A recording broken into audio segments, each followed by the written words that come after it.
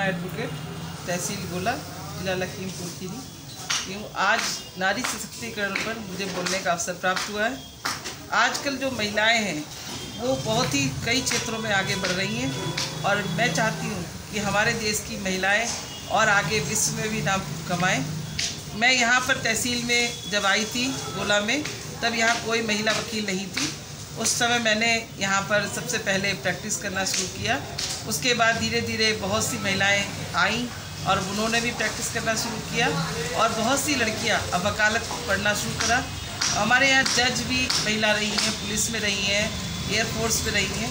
हर तरफ़ महिला ने अपना परचम लहराया है और हम चाहते हैं कि आज की नारी को कोई ना कोई ट्रेनिंग या कोई भी कोर्स करना आवश्यक है।